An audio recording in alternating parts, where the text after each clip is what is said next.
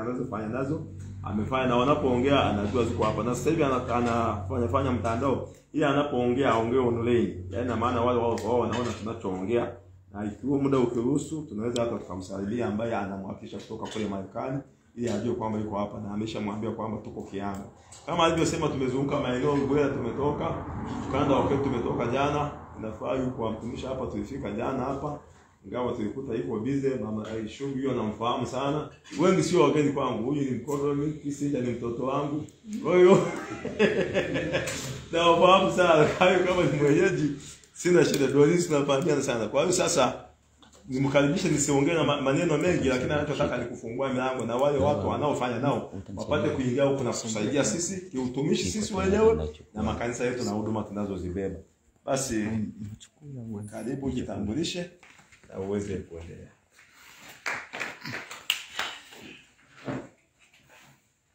Praise Jesus. Amen. Praise the Lord. Amen. Bwana Yesu asifiwe. Amen. Wangapi wamefurahi kuwa nyumbani mwa Mungu asubuhi hii, adhuhuri hii? na mimi? asubuhi imeshapita. Uh, nashukuru Mungu kwa sababu ya siku hii ya leo, ya kwamba nimekuja hapa kwenu. Kunaitwa Kihanga, sio? Ndio, lakini si Iringa, si ile ya Iringa, sio? Aha. Asante. Bwana Yesu asifiwe. Na mimi wangapi wamefurahi leo kwamba mpo hapa leo, tukutane tujuane kidogo, tuzungumze Kiswahili kidogo, sio? Amen. Maanake wameniambia hapa, ukitaka kupendwa lazima uzungumze Kiswahili, ukitaka kuchukiwa basi ongea Kiingereza. Eh? Asante. Kwa hiyo utanisaidia ile nini, simame pale kidogo, pengine niweke kitabu changu. Ndiyo.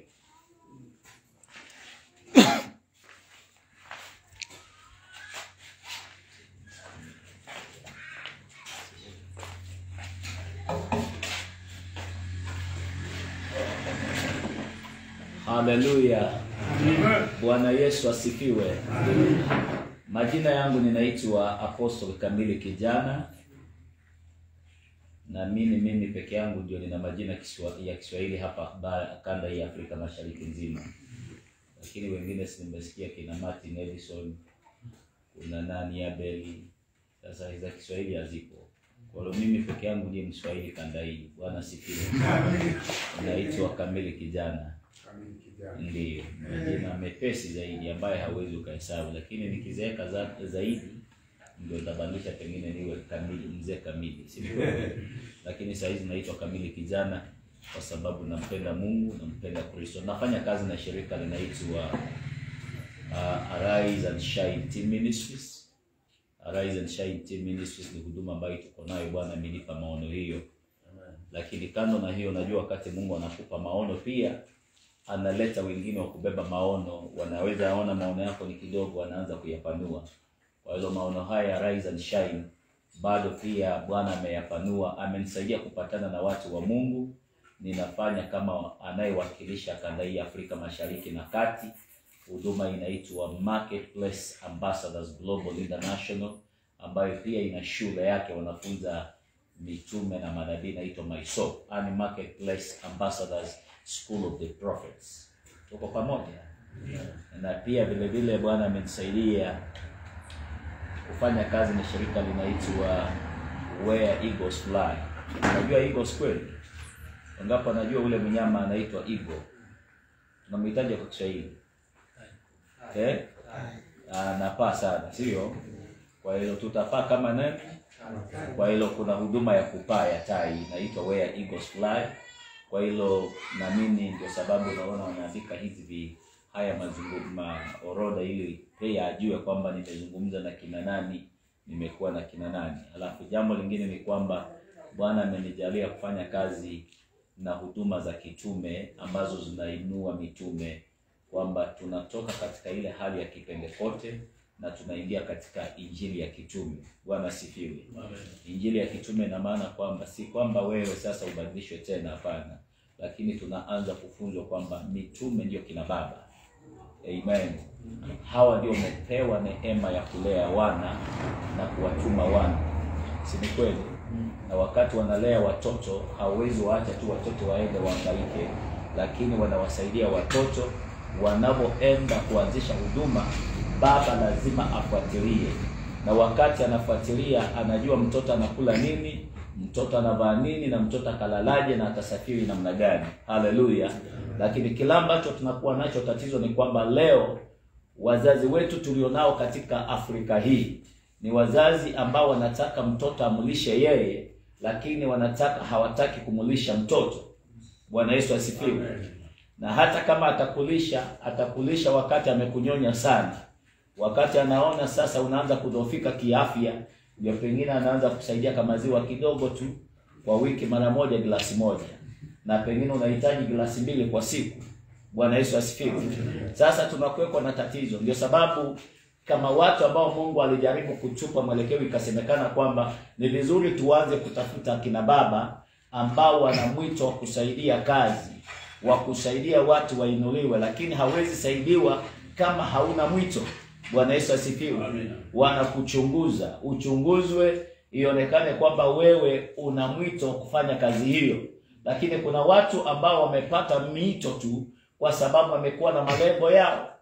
Maana pengine ameona sasa kitega uchumi kipo kanisani, wacha mimi niende nibebe watu, nianze kutoa unabii ambayo ni ya kutishia, niwasanye watu wawekwe chini ya, ya ya mti, na hapo nianze kufanya kupata kitega uchumi. Hili mtanisamehe kwa sababu huyu mchungaji amesema amekuwepo Kenya na naamini ametembea hata mashinani, si ni kweli? Mashinani ukipata ukienda kanisa lenye liko chini, ni hivi viti vinatumika kanisani. Bwana Yesu asifiwe. Lakini ukiangalia picha ya Tanzania, haswa maeneo haya ya Karagwe, picha tofauti sana. Sasa unashangaa hawa wameitwa ama wameenda kwa uganga, maana pale kwenye kwenye shrai ile ya mganga ndio pale wanaegeza, wanajenga wanajenga nyumba kutumia nyasi na ukiingia kwao unaingia ni kana kwamba sasa ukiingia na viatu utakalia wapi? Utafanyaje? Unavifua viatu pale nje.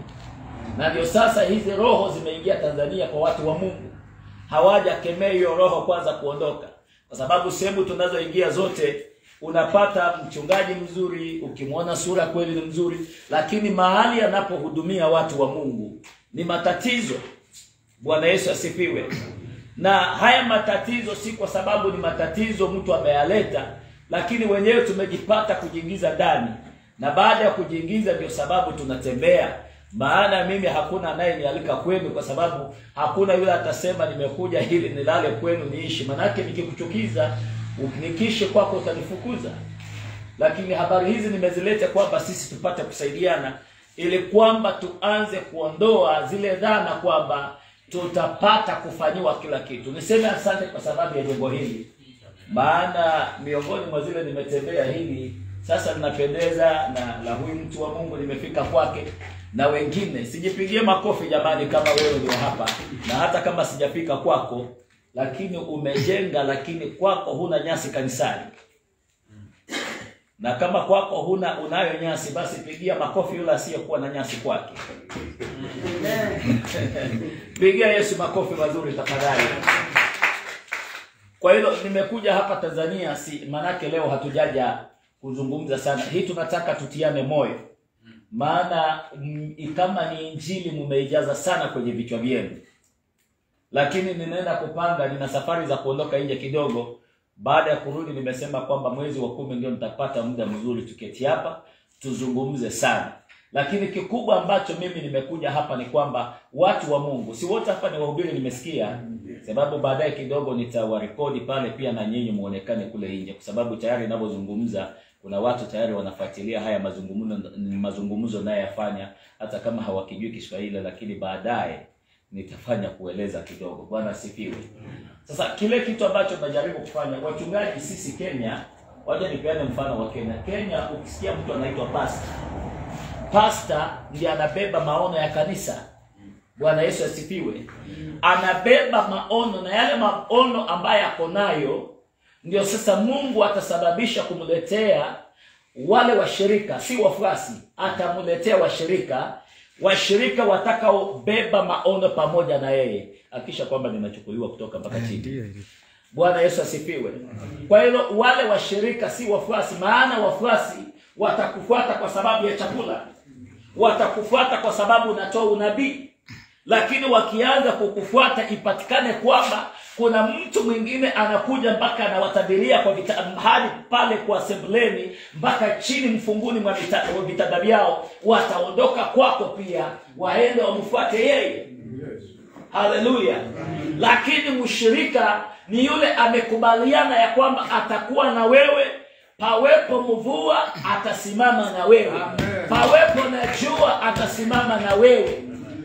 Hiyo ndio tunasema katika hali na mali bwana yesu asifiwe. Atasimama na wewe ukiwa na jengo ukose kuwa na jengo. Atasimama na wewe uwe na fedha ukose kuwa nazo. Atasimama na yeye kwa sababu yeye ni mshirika. Amen. Haleluya maana mshirika ni mbeba maono pamoja na wewe. Lakini anayeyabeba maono yote ni yule mtu wa mungu ambaye ni mchungaji na wanaangalia watakuja kubeba maono yako vipi? Kama maono yako ni nyasi basi watakuja watakusaidia na nyasi. Bwana yesu asipiwe kama ni maono ya plastiki basi watakuja wayabebe. Maono ya nini? Kama mchungaji ananua plastiki itakuwa aibu sana mshirika kuja kulete nyasi kanisani. Bwana yesu asifiwe kama maono ya mchungaji ni kutembea kwa miguu miaka nenda miaka rudi hana hata kusema mwaka huu napanda baiskeli. Nimeendesha baiskeli kwa muda mrefu. Nipande basi pikipiki. Watakuwa akikuja kwako anasema ah, huyu ni mchungaji wa miguu. Wacha tumlipie nauli tumpandishe kwa gari. Akifika ile soko ya kwake ashuke atembee. Pigia yesu makofi vizuri jamani lakini iwapo wewe wanakujua kwamba unatumia pikipiki watajua huyu mchungaji lazima tumpe mafuta. Hata kama wajui mafuta ni kiasi kipi watakupa mafuta. Wakikupa mafuta wanasema huyu si mtu wa kubeba migomba. Watatengenezwa kutengenezie ile inaitwa shopping nzuri waweke ndani ya, ya carton ya box. Na kisha ubebe uende. Lakini kwa sababu wewe ni mtu wa kutembea miguu maono yako si ya kwenda bado unasema hata mimi. Nikubali nipeane mfano ya hawa. Maanake watanzania mimi nimejifunza mambo mengi sijui ndio? Unyenyekevu ama namna gani? Wanakuja wamekaanga hizi kahawa. Na wewe mchungaji unabeba unaweka kwa mfuko. Sisi kwetu ukifanya hivyo ukirudi kwa ile nyumba anasema huyu mchungaji wetu ni tangatanga tu. Unajua kutangatanga? Hana maono. Lakini sasa sikiza washirika wanafuata vile ulivyo. Wakikuona wewe ndio mkuu watakupa mfuko. Watakupa mahindi waseme weka kwa mabega tu uende naye.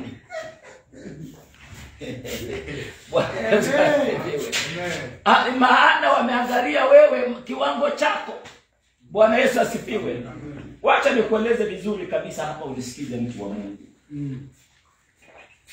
Hawa watu wamevaa shapshuta kuzidi yangu siobarikiwa jamani hawa wawili hawa ninaona mwingine mwenye cheupe pale. Simpigipigia makofi kwa sababu mumevaa kuzidi yangu bwana. Haleluya. Sasa yeye kama ananunua kiatu kama hiki mungu anamletea washirika ambao bado wana uwezo wa kumnunulia mchungaji wao kiatu kama hicho. Bwana yesu asifiwe. Jana nimekuwa nikiwa tukikuwa wapi nikasema wewe kama mwenyewe ni mzembe mungu atakuletea washirika wazembe kama kwako hulimi wanajua mchungaji wetu anaomba. Anaomba aendi shamba. Basi wakisema wacha tuende tufanye huduma kanisa karibu lote litaondoka. Sema tuende tufanye kazi. Tutembee kwa mguu. Si huwe tu mchungaji huwa alimi sasa mkienda ndio utakutana mchungaji mwenyewe ana ulafi washirika wana ulafi. Ukileta kila kitu mezani atakula fagie kabisa waki, watoto kule walioalika wanashanga sasa wachungaji wametumalizia kila kitu hiyo hakuna makofi kwa hiyo si ndio kwa sababu mkialikwa mnamaliza kila kitu kwa meza Wameleta tu vile. Pigia Yesu makofi mazuri. Haleluya. Bwana Yesu asifiwe. Fungua nami kitabu tu cha Waefeso, nataka tusome tu mstari mdogo, alafu kisha tuondoke, alafu na nini itakuwa ya muhimu. Amen. Wanapofungua hicho kitabu, nimezungumzia kwamba Mungu ataahidi, ataachilia. Kuna watu ambao tunaita the benefactors, wale wanajua Kiingereza, ya kwamba benefactors ni wale ambao tunawaita wafadhili. Bwana Yesu asifiwe. Mungu wapendwa, kama tunataka Mungu aachilie ufadhili, lazima uwe na maono. Amen. Lakini Mungu hawezi akaleta mfadhili kama wewe mwenyewe hujajaribu hata kuwa na maono. Niulize tu kwa mfano, kuna watu ambao wanakuwa na maono, mchungaji, ya kulisha watoto mayatima. Akiona mzungu anamwambia mimi ninataka kulisha, ninataka unijengee orphanage. Yaani orphanage hiyo anataka ajengewe, lakini mwenyewe katika maisha yake hajai mlisha yatima. Yeah? Hajai hata nunulia yatima nguo. Lakini yeye anataka wafadhili waje wamsaidie nini? Kumjengea boma la nani? Sasa ule mayatima hata wakijenga nyumba ya mabilioni utasikia imeanguka. Itakuwa imefanyaje? Itakuwa ishanguka, haitadumu tena. Wa Filipi uh, wa Efeso sura ya pili mstari wa 20 nisomee tu hapo tafadhali.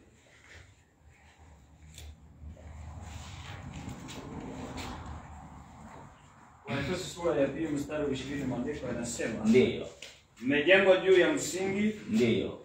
Wa mitume na manabii, na naye Kristo Yesu mwenyewe ni jiwe kuu la pembeni. Amina. Mstari wa 21 tena. Mstari ishirini na moja maandiko yanasema Ndiyo, katika yeye jengo lote ndiyo. limeungamanishwa. Ndiyo, asante.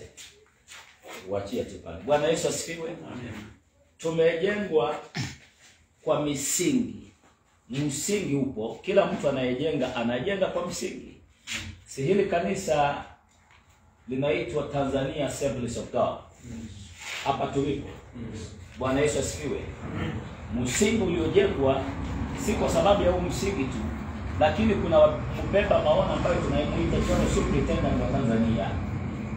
Wachungaji wote wanajenga majengo hayo kufuatana na imani aliyokuwa ameibeba, na hiyo neema anaibeba yeye, ule mkuu wa Assemblies of God Tanzania, ndio hii inashuka kwa wachungaji. Bwana Yesu asifiwe. Wakati natoka pale juu inashuka kwa waangalizi wa mikoa. Kuna waangalizi wa mikoa sio? Na pia wanaachilia hiyo neema inaenda kwa waangalizi wa wilaya, ndio tutakuja kwenye tarafa na kata na kata ndogo, si ni kweli? Sasa ule upako hushuka, lakini hushuka kwa sababu huyu aliyabeba maono akasema, Tanzania ninataka kanisa la Assemblies of God liwe hivi liwe hivi. Bwana Yesu asifiwe. Kanisa la Kristo vile vile ambalo wote tumeunganishwa hapa kwa sababu ya kanisa la Kristo. Hatupo hapa kwa sababu ya mambo yetu. Ndio sababu lazima tukubali. Mimi niwapende sana nyinyi na nipende kuwashukuru kwamba kwa sababu mnafanya haya ili kuvunja roho za udini. Bwana Yesu asifiwe. Kama kuna kitu ambacho kinatumaliza watu wa Kristo leo ni roho zile za udini.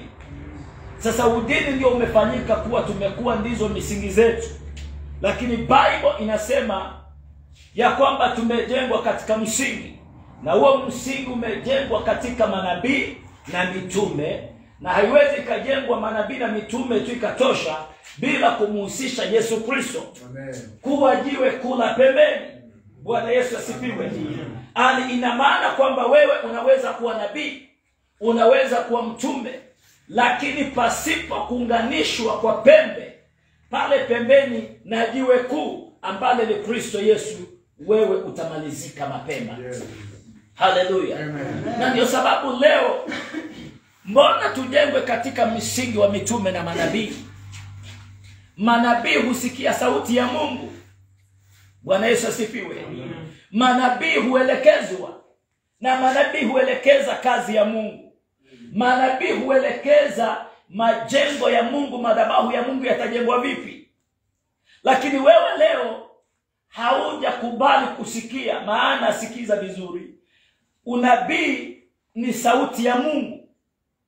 unaweza kuwa unaweza ukakosa kuwa nabii lakini mungu akakupa neema ya kusikia sauti yake bwana yesu asifiwe. Amen. na ukisikia sauti akutume usisikie sauti ya mwanadamu. Maana kuna sauti ambazo wapendwa watumishi wameisikia lakini wakaaja wakasikia hiyo sauti wakaiacha wakaanza kuingiza vitu vya mawazo tofauti.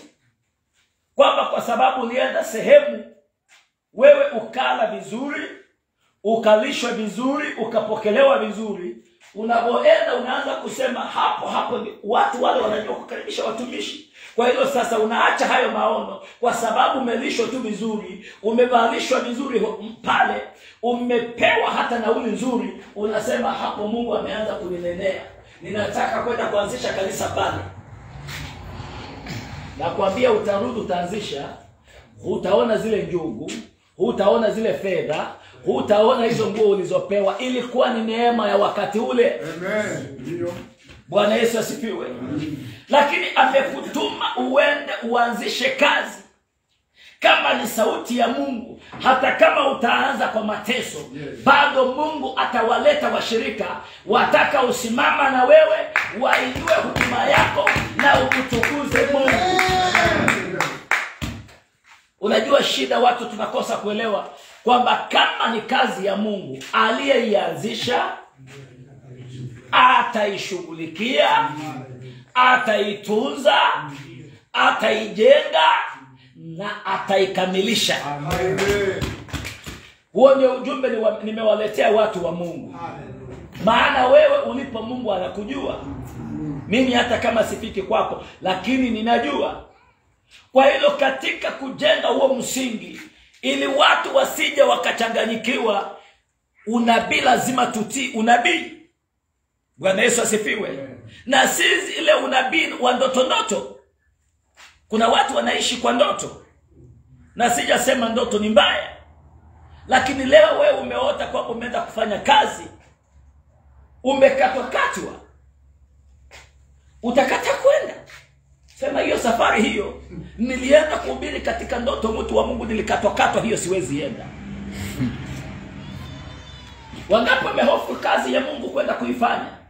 Kwa sababu alilupana na mtu akampiga kwa ndoto mpaka akakufa. Akafa kidogo wakaja wakambeba lakini ilikuwa ni ndoto.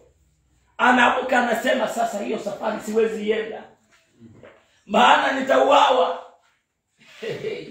Nitapigwa nimalizwe na ndio amesema hiyo ni ndoto ndugu yangu. Na ndoto ina ina utafsiri tofauti. Kwa hiyo tusiishi kwa ndoto. Amen. haleluya tuishi kwa nini? Kwa maono. Amen. pigia yesu makofi mazuri. Mbona tuhitaji mana mitume? Mbona msingi wetu uwe katika mitume? Mitume ni kina nani nilisema? Mitume wamepewa neema wamepewa neema ya kuanza kuanzisha kanisa. Mitume wamepewa neema ya, ya kuwa kina baba. Bwana yesu asifiwe. Na baba anajukumika. Baba asiyejukumika huyo si baba. Ule tunamwita kababa baba tu pigia yesu makofi mazuri. Amen. baba ni yule anajua kwamba anaanza kwa mkewe manake mke ndio wa mwanzo. Mke wako lazima umtunze ndio uanze kutunza wa nje. Nataka uelewe kina baba wanatunza wamama wengi wa nje lakini wakwao wa ndani hawatunzwi. Wangapi leo kwa hiyo kina baba mitume wanapewa neema ya kuwa baba. Na baba huoa na baba huzaa. Nimesema mambo mangapi? Baba ni nani? Baba hufanya nini? Baba hutunza. Na baba lazima awe na lugha nzuri. Yeye ni mwenyekiti wa familia. Akishapatikana kwa familia azungumze mama atatii watoto watatii. Na hata mgeni aliyeingia kwa boma lazima awe chini ya nani? Lakini baada ya baba kutuzaa na akose kututunza manake kuna haki ya mwana. Haki ya kwanza ni avalishwe. Lakini wewe ulipomzaa mtoto ujai mnunulia nguo. Ulipomzaa mtoto ukuwahi mnunulia kiatu yeye na bata mzinga pale hakuna utofauti. Maisha yake na nguruwe hamna tofauti. Wewe unaweza enda sokoni ukatambulisha unakuwaje na nguvu za kwenda kutambulisha mtoto wa kwako mbele ya watu kule sokoni? Kina baba kama hao hawezi tembea na watoto wao sokoni? Maana naona huyu si ni kama si wangu. Ndio namuona akiona ndugu yake mahali wa jirani mzuri anataka kumbeba mtoto anataka kutembea naye lakini wa kwake ameaibika Ah, kama uko hapa pia na wewe msamehe lakini ukweli lazima use useme.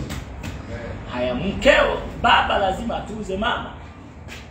Mama huwezi kuwa na nywele zilizochakaa unaosha na sabuni hii ya kipande kila mara na huyu bwana akienda akipata hela ani akilala wallet yake iko wapi analala nayo tu unashangaa bwana hii long yako hutaki kuweka pale kwa haya, ako nayo tu akiitoa basi anaiweka kando ya kitanda. Inazungumzia baba neema ya mitume ni kina baba wanaotunza wana wanaowazaa wana na wanapa wanawapea urithi wanawapa urithi. Bwana yesu asifiwe. Sasa kila ambacho kinafanyika ni kwamba shida ambayo tuko nayo na mimi nazungumza kama mwafrika sizungumzi kama mzungu. Tena nazungumza kama mwafrika wa kanda hii afrika mashariki. Bwana asifiwe. Kinayomkuta mkenya kinamkuta mtanzania. Kinayomkuta mganda kinamkuta mburundi. Maana wote tuko katika jumuiya moja. Bwana yesu asifiwe. Kila ambacho ninazungumza ni kwamba baba wetu wa afrika samahani maana hata ukiwa hapa utalijua kwamba ni ukweli. Wewe kama askofu uko hapa nisikize vizuri. Umezaa mtoto umemtuma sehemu lakini umsaidii. Mara ngapi hata wewe ukiwa hapa askofu wako amepata mialiko mingapi? Moja ya kwenda ya kwenda australia ya pili ya kwenda london ya tatu ya kuenda marekani niambie askofu yupi hapa tanzania atakayemwita mwandalizi wake wa sehemu moja amwambie kwa sababu nimepata mialiko mitatu wewe nenda australia mwingine amchukua mwambie wewe enda london alafu mimi aseme sasa mimi mwenyewe naenda marekani. Yupo. Sasa huyo ni baba. Lakini maandiko yanasema paulo alikuwa anamtuma timotheo anamwambia ana, mahali anamtuma anamtuma pamoja na nyaraka. Anamwambia mpekeeni timotheo kama vile mungenipokea mimi. Haleluya maana huyu alikuwa ni mtu ambaye anajua kuwa baba wa kiroho. Alikuwa anase, anajua mtoto ninayemzaa anatembea kwa nyayo zangu. Na wanavyosema wazungu ni kama like father like son like mother like daughter. Lakini sasa mwafrika wetu ni huyu. Akipata mialiko hizi atakisha ameairisha mmoja amalizane na huu. Akisha toka hapa aende huku. Akitoka huku ndiko aende huku. Haleluya mababa wetu wa wapi? Ndio sababu tunasema badala ya maaskofu bwana aanze kutuinulia kina baba wa kweli ambao wana neema ya kitume. Hawa mungu akiwainua tanzania hakuna waasi katika makanisa. Kwa watu wamekuwa na uasi kanisani kwa sababu wanavyoangalia baba mwenyewe hafanyi kama vile inavyohitajika. Mwana hataki chakula kikubwa cha kumzidi babake. Si kweli.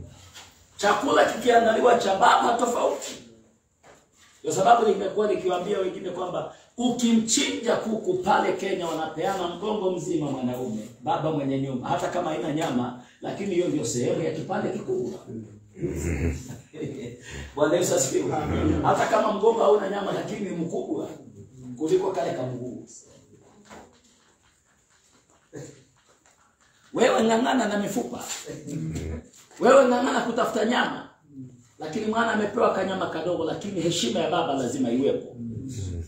Lakini shida ni kwamba baba zetu wanataka wakiletewa kuku ale kuku peke yake. Bwana Yesu asifiwe. Lakini Biblia inasema kanisa la Kristo limejengwa kwa misingi ya mitume na manabii. Nimesema unabii ni kusikiza sauti ya Mungu, lakini kuna watu ambao wamechukua unabii kwa faida yao. Wangapi mmeona watu wanajiwekea ati manabii, wakija wanavunja makanisa ya watu? Tafadhali nisamee kama wewe ni mmoja wao, manake leo nataka ujue kama unatabiri tabiri, usitabiri kuvunja makanisa ya wengine. Kanisa usaidia kanisa la Kristo likuwe Lakini wewe si kuja sasa unaanza kutoa unabii, unasema tokeni huko kwenu, wewe pastor wenu hana roho. Nani alikwambia unabii ndio roho peke yake? Unaweza kuwa mwimbaji, hiyo hiyo ni roho inakuhudumia. Unaweza kuwa hata una neema tu ya kusimama unatoa neno la hekima, hicho ni kipawa cha roho, na hakuna roho ambaye humfanya mtu awe mkubwa zaidi ya mwingine. The Bible says we are given these gifts for the reason being to edify the body of Christ, ani kuhakikisha kwamba tumeutunza mwili wa Kristo umekuwa. Haleluya! Lakini swala ambalo tuko nalo wapendwa, ni kuangalia maandiko yanasema Eliya na Elisha, wangapi wanawajua? Walitembea pamoja. Eliya anataka amwambie Elisha, wewe baki, anasema hapana, nitaambatana na wewe. Mbona waambatane? Kama mnaenda sehemu wanaleta kuku na kula kuku mzima, anamalizia Elisha. Elisha angetamani kwenda naye kweli? Wanaleta nyama mzima kwenye kwenye pot, hot pot hapa, sema nyama ni ya watu manabii, kina manabii wakubwa wale wanaitwa chief prophets. Lakini nyinyi vijana wa kubeba mikoba, ngojeni maboga maboga yetu. Elisha angevumilia kweli? Lakini Mungu akubariki kwa sababu najua umevumilia. Ama hujavumilia? Eh? Bwana akubariki. Na ukivumilia, Bwana anatazama uvumilivu wako. Shida ambayo tunakuwa leo, mtu umevumilia, umepitia hali hizo, Mungu amekuonea huruma, amekuinua. Akisha kuinua pia, tabia zinakuwa kama kule ulikotoka. Wewe unataka kuniambia injili tunayohubiri Kenya hakuna tofauti na hapa, na injili unayohubiri hapa hakuna utofauti na ule jirani wako wa Kilokole, si ni injili hiyo? Lakini nini kinacholeta utofauti wa makanisa kupasuka? Na akipasua akienda, usidhani kuna injili tofauti ameenda kuhubiri. Ni injili hii hapa tulikuwa tunaisikia, lakini shida, mtu amevumilia, watu wameketi kwa ahadi kwamba nitakupeleka Holland. Mimi nikianza huduma kidogo kidogo, najua nilianza nikiwa bado, nina mzee mmoja askofu alikuwa ananiahidi, huyu kijana nitampeleka Holland, huyu kijana nitampeleka Holland. Sasa mimi nakuwa katika huduma, nasema nitaenda Holland ndio Holland na mwenyewe hajafika Uholanzi mwenyewe unajua Uholanzi, basi niwache niseme hivyo. Wangapi wanajua Uholanzi? Ani ana yeye mwenyewe hajai kanyaga, anazeeka, anakwisha, lakini ananitia mi matumaini. Lakini bwana, nangoja, sioni Uholanzi ikifika. Bwana Yesu asifiwe. Kwa hilo usipewa ahadi, hata hata kama utapewa ahadi, maana kuna uwezekano umepewa ahadi kwamba wazungu wanakuja kukununulia hata gari, wanakuja kujengea gari, wanakuja kujengea kanisa nzuri, wakununulia vyombo. Umengoja, umengoja, lakini kueleze nini?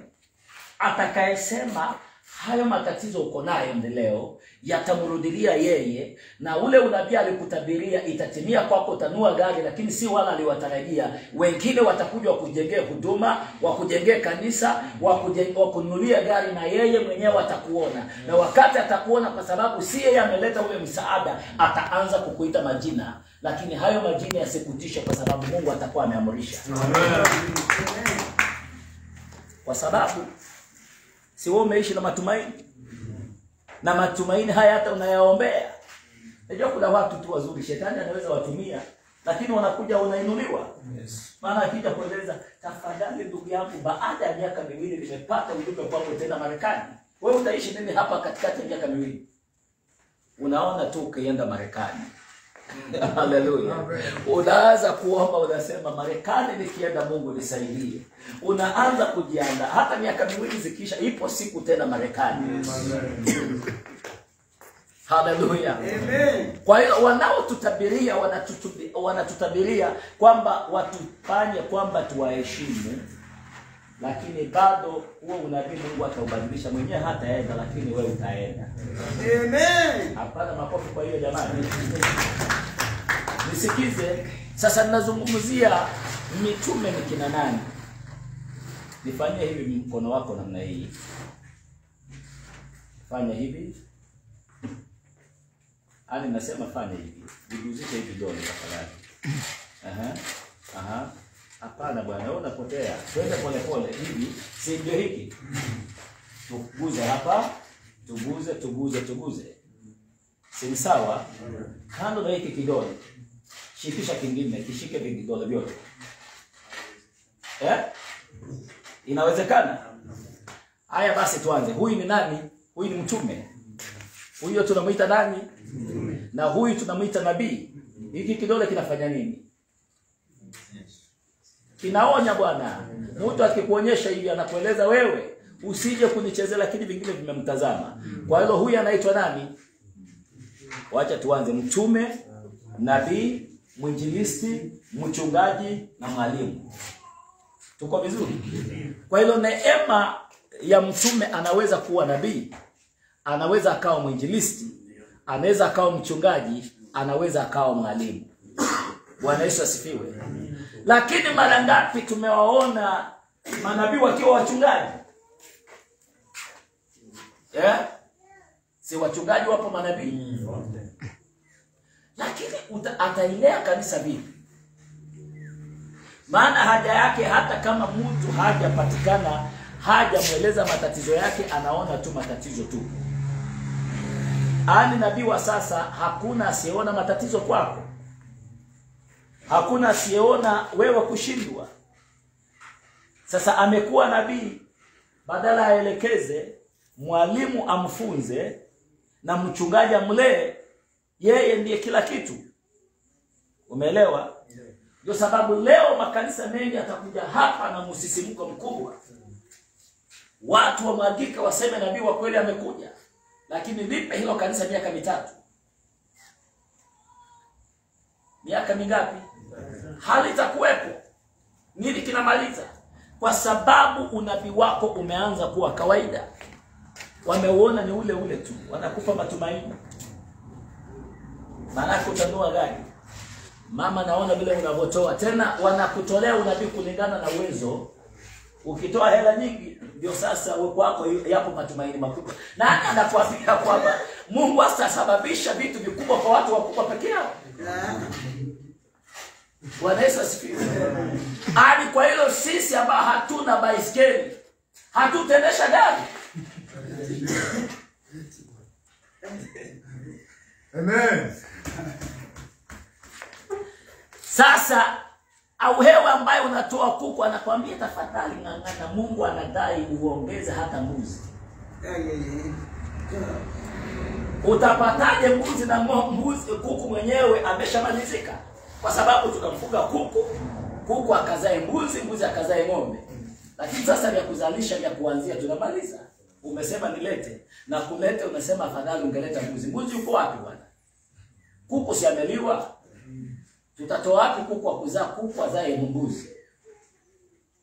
Unajua bwana, saa zingine wapendwa, hizo maroho tunyamazishe na tuanze kufunza watu wetu, maana nyinyi ndio watu Mungu anawatazama.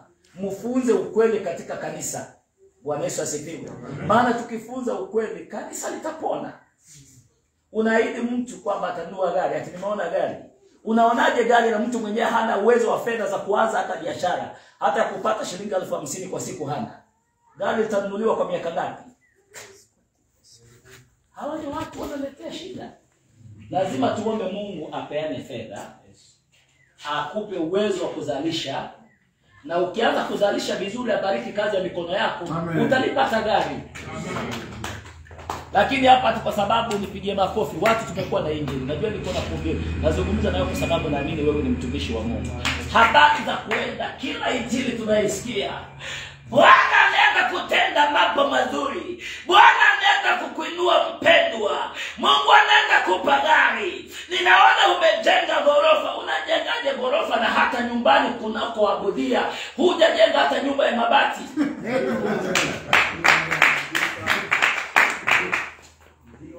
Unamwambia ndoto mtu anaenda kununua gari na kwake anaishi kwenye matatizo, hata hana kiti kwake nyumbani. Na unajua kiti cha gari si hiki. Yes. yeah? ni kiti cha heshima. Maanake anayetengeneza gari anajua waziri anaweza endea humo ndani mbunge anaweza endea. Sasa wewe mwenyewe kwako mabalaa tu. Alafu unasema I unapokea vitu ambavyo havipo utapokea hewa dada yangu. Utapokea hewa ndugu Sasa wewe, kila neema ifanyike ni kwamba watu wetu wafunzwe baraka za Mungu. Utajirisha ni kweli, wala hachanganyi uzuri naye. Amina. Tufunze watu jinsi ya kubarikiwa na Mungu. Kidogo alicho nacho ale, lakini pia akumbuke nyumba ya Mungu. Ale kidogo, lakini akumbuke kusimama na kazi ya Mungu. Amen. Hiyo ndio njia itampa gari, Haleluya! si ile kupanda mbegu bila kujua. Wewe tuma. Sisi kwetu walipanda mbegu mpaka hazikumea. yeah, walituma kweli jamani? Mm. walipanda za mia tatu thelathini wakatuma za mia tano za elfu moja. Unajua hizi tukizungumzia si hela za tanzania. Mia tano ni elfu kumi. Unaelewa? Elfu kumi ni elfu kama mia mbili za tanzania. Bwana yesu asifiwe. Sasa wamezipanda kweli. Wanaita mbegu. Mbegu ya miujiza lakini mbegu yenyewe si unayopanda kwenye shamba inamea lakini washangoja sana bwana. Washangoja sasa wewe uhubiri injili ya kweli ambayo watu wataisikia injili wampende mungu. Na wakishampenda mungu akija tuanze kuwafunza maana mungu ameahidi kwamba na hivi vitu vyote vitapatikana kwake. Yeye ni anayepeana. The Bible, biblia inamuita kwamba anaitwa jehova jaire anaitwa jehova jire ani mungu anaye uwezo wa kufanya nini wa kutoa wa kupeana vyote. Kwa hiyo hapa lakini kuna hatua za kuzifuata ndivyo upewe na mungu. Hapa ndio sababu tunahitaji mwalimu aje afunze kwamba watu kanisa tukitaka kubarikiwa ni hatua zipi ambazo tutazichukua. Hizo hatua kila mtu akifunzwa akifunzwa atakuwa mwalimu. Lakini tatizo tumekuwa nalo ni kuja hizi injili za mapito tu injili za za- injili zenyewe kwa redio zinahubiriwa hapa kanisani zinahubiriwa kwenye maruninga zinahubiriwa. Ah, injili za haraka haraka. Haraka ni ya nini? Kuuza watu wakifunzwa atahitimu kuwa mwalimu naye akienda pale nje atafunza wengine. Lakini sasa tulivyohubiriwa tunahubiriwa. Wewe umeona nabii akifunza? Anasema nini? Chukua jembe nenda chimba chimba pale kwenye lango lako. Chukua mafuta enda mwaga. Mafuta mtamwaga zaidi. Mafuta mtafanyaje? Mafuta haya yametoka wapi? Kuna mafuta ya upako wa mungu. Yeah? mafuta mtayamwaga zaidi. Lakini unajua nimetembea tembea juzi nimefua kwingine ninaenda ninaenda mpaka kwa choo ya mtu ameweka bana ati, ati inaitwa namna gani? Posta ile. Posta ya ulinzi. Ameweka posta ya ulinzi posta ya ulinzi. Na mnajua mko hata pia hapa nyinyi mko nayo hiyo shida. Kwamba wewe mwenyewe mhubiri lakini hujiamini. Wewe mhubiri ukija hapo unajikaza nguvu, lakini ukirudi kwako nyumbani bado una mambo yanakusonga, maana unaishi naye, anakuuliza kweli, hii maisha yetu ni ya Mungu kweli? Mungu mbona hatukumbuki? Unakimbia, ukisikia mafuta pia nao unakimbia kwenda kuyanunua. Ukisikia kuna vitambaa vya miujiza pia unaenda kununua. Sasa wewe huyo, mbona alipewa neema ya vitambaa na wewe hujapewa? Kwani yeye ni nani? Yeye ni, na yeye ni Yesu kweli? Yeye ana kipawa kakitoa wapi? Sasa ulizaneni hapo kwamba iwapo huyu ana mafuta pia si uyatengeneze ya kwako. Kama ni kweli ana mafuta ya kweli, mbona wewe pia usianze kuyau, kuyaunda mafuta yako? Hayo mafuta anayatoa wapi? Lakini ukweli unapako, na si kwamba ni vibaya kuyatumia, sijakataza, lakini nataka niulize, anayekuuzia haya mafuta yeye akayatoa wapi na roho anayemtumia ni roho wa aina ipi? Maana bibilia yangu inaniambia katika kitabu cha wakorintho sura ya kumi na mbili wa kwanza ya kwamba na roho ni yule yule. Anayepeana vipawa vyote ni roho yule mmoja. Kwa ile anayehudumu hapa tanzania ni ile roho anayehudumu kule marekani. Hapana roho tofauti maana anayekuhudumia hapa leo bado na yeye anamhudumia mtu anayeishi kwenye viziwa. Lakini swali langu mbona kama huyo roho anatakaza vitambaa akiweka juu ya mgonjwa vitamponya mbona wewe huyo roho na wewe usimuulize?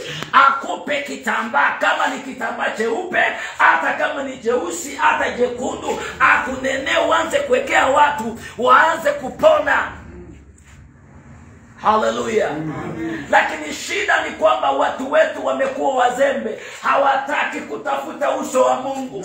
Wachungaji wamekuwa wazembe. Hawataki kutafuta roho wa mungu akawape mwelekeo. Maana nimesema na kanisa kwamba tunasikia sauti ya unabii na sauti ya unabii inatupa mwelekeo. Hiyo ndio sababu yesu tunaye. Na bible inasema ya kwamba tazama naenda petero. Wewe pamoja na wenzako sitawaacha kama mayatima. Nitamwomba baba naye atatuma msaidizi. Atakuwa naye maana huyu roho ni nabii. Roho atakusaidia kuyaelewa mambo yaliyofichwa. Wewe uyafichue. Haleluya kama hauna roho mtakatifu. Na ndio sababu jana nikazungumza ya kwamba hauwezi ukawa na roho mtakatifu na wewe haujabatizwa ndani ya maji mengi. Huyo atakuwa ni roho wa kuzimu anakutumia huyo atakuwa ni roho wa giza anakutumia mpaka vile utakavyozamishwa ndani ya maji mengi na baada ya ubatizo huku na ubatizo wa roho mtakatifu. Na huyo roho mtakatifu akikujia unaanza kutembea. Na baada ya kuanza kutembea hautatembea kutofahamu utatembea katika fahamu. haleluya lakini shida ambayo tumekuwa nayo watu hawajataka kutafuta sauti ya mungu. Wanataka wasikiliwe lakini mungu hajabagua kwamba huyu fulani nitamsikia. Kanisa mungu atakusikia wewe. Atasikia kila mtu. Cha muhimu ni wewe kwenda kupiga magoti. Ni wewe kwenda kusema baba uliniita umenipa huduma. Lakini huduma mbona haisongi? Atakupa jawabu mbona mambo yangu inang'ang'ana? Atakupa jawabu. Pigia yesu makofi mazuri. Wachungaji hatutaki tuketi katika maisha mangaiko sasa nimesema kwamba roho yule yule anayemsaidia isipokuwa kuna roho wa mungu wa kweli na kuna yule roho ambaye shetani anamtumia. Manake nisikize vizuri. Hata farao alikuwa na fimbo la, na fimbo ya muujiza. Haleluya alikuwa na nyoka. Alikuwa na nyoka vya kwake vijoka joka lakini pale palikuwepo na nyoka wa shaba. Sasa kinachofanyika nyumbani mwa mungu shetani vile vile anaweza akakifanya. Ndio sababu kama mumeomba mungu haja kuonyesha mbona amemwonyesha yule mwingine? Basi namaanisha kwamba huyo mungu si mmoja na yule roho si mmoja. Haleluya. Nikikuuliza leo swali hapa kwamba mbona kanisa lako halijai? Mbona halina watu? Watu wakiuliza mbona hilo limejaa? Watu watasema nini? Pale mungu huyo mtu wa mungu anatumiwa sana. Na huyu huyu atumiwi sasa kama hautumiwi usiondoke basi usitumike. Mbona nakazana kuhudumu na hudu, hauhudumiwi hauhudumii mungu kwa kiwango kile? Shida ipo. Usije ukaondoka. Lakini kila ambacho inatakana kanisa lisimame lianze kudai mungu nafasi yao kanisa sahizi nafasi ya kanisa haitambuliwi. Wale watu ndio sababu nasema paulo alipokuwa anahubiri akafika sema anasema injili hii wanayohubiri ni injili ya tumbo zao wenyewe. Kanisa akataja kwamba mafarisayo wazee wa wanafiki wale walikuwa wanahubiri injili ya tumbo zao. Ndio sababu nikodemo akaamuka siku moja akaenda akasema licha kwamba ninafanya mambo haya lakini sasa nitafanyaje ili niurithi ufalme wa mbinguni? Wapendwa kanisa watu wamechukulia kuwa kawaida. Vituko vinafanyika kanisa kama kawaida. Kwa sababu tumekosa kutafuta usomo wa mungu kwa njia ya kweli. Kwa hiyo bwana atusaidie kwamba tukubali kutembea katika mapenzi ya mungu na tukubali kwamba tusijibebe wenyewe mungu atubebe. Amen. haleluya maana ukibeba mungu kama wewe unaweza ukachoka na ukaanguka. Lakini yeye ukimkubali abebe kanisa yako yeye hatachoka. Yeye hatachoka mpendwa. Askofu wake anaweza akakubebea huduma akachoka anaweza akakusaidia akachoka lakini mungu wetu wa mbinguni aliyekuita kwa majina yako akakutoa kwa familia yenu akasema na uwe muhuduma leo atakubeba wewe. Atakusaidia na hilo lisikupe wasiwasi. Wacha wakimbie. Zao zitaisha sakafuni tu lakini wewe bado utakuwa katika mwendo. Kikubwa ni tuanze kuuliza mungu tuinue macho yetu mbinguni. Daudi alivyokuwa anashindwa mambo yote yamemsonga. Anainua macho yake anatazama pale juu. Anasema msaada wangu watoka wapi? Anasema msaada wake unatoka kwa bwana. Haleluya. Watu wengi wahubiri hawaendi milimani. Hamwendi milimani mnaketi chini mnaanza kuulizana kwamba iko mafuta sahii imekuja. Si mafuta tunahitaji mafuta ya ndani. Haleluya. Amen. mafuta ya kutiwa na mungu. Mm. na mungu ameahidi kwamba haya mafuta yatawakubali. Mm.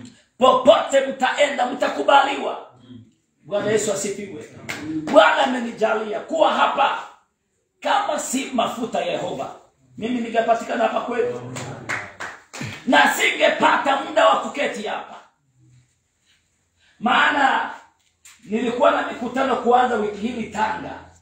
Wiki kesho niende dar es salaam kabidi, lakini nikasema hapana. Nilivyoingia licha kuangalia hali vile ilivyo nikaona hapana nisongeshe kidogo. Nitoke hapa niende nikapiga kura na kisha ndio nirudi kule Kabindu na dar es salaam. Na hiyo peke yake itoshi na sijisifii. Lakini bwana atanisaidia maana nina safari ya kuondoka kwenda nje. Lakini hiyo si ya muhimu.